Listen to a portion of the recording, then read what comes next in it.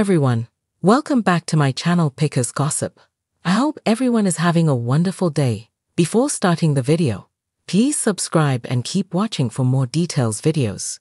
Was Todd Chrisley's daughter Lindsie found dead? Fans worried.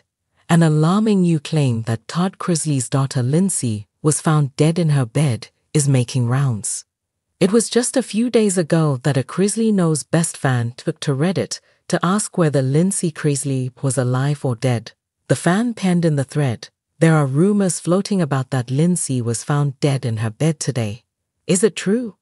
The Reddit thread has accumulated a few dozen responses by fans chiming in on whether they think this is another cruel death hoax. So, is Lindsie Chrisley dead? Or is this a cruel death hoax? Keep reading for the details. Was Todd Chrisley's daughter Lindsie found dead? Fans worried. Chrisley knows best fans turn to social media to get to the bottom of this death rumor. As long as Lindsie Chrisley has posted on her Instagram recently, fans have no reason to believe she was actually found dead in her bed. Shortly after the question was asked, one Chrisley Knows Best fan noted that Lindsie reshared one of Savannah's stories eight hours ago. So, her death would have had to be extremely recent for it to be true. Another fan chimed in that it was likely clickbait or fake news. There was even a fan who admitted the same death hoax swirled back in July. So, they weren't buying it was true this time around. Fortunately, Lindsie Chrisley did post on her Instagram stories again after this question was asked. Now, Lindsie has not caught wind of the death hoax or issued any type of statement on it.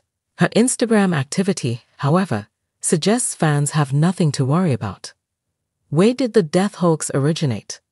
Another fan popped into the Reddit thread noting they also heard the rumors.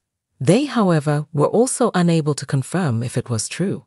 Several responded to this comment asking where they were seeing this death hoax. Unfortunately, no one ever answered the question as to where this alarming death hoax originated. Fortunately, her social media activity confirms Todd Chrisley's oldest daughter was not found dead in her bed. It, however, is unclear as to where exactly this death hoax originated. One disgusted fan noted they wouldn't put it past the Chrisley family to add fuel to a death rumor as a way to stay relevant. Another fan questioned if Savannah would have mourned Lindsie's passing and acted as though they were close. Unfortunately for Lindsie, most fans on Reddit admit they wouldn't be too bothered by her passing. They, however, were annoyed by death hoaxes.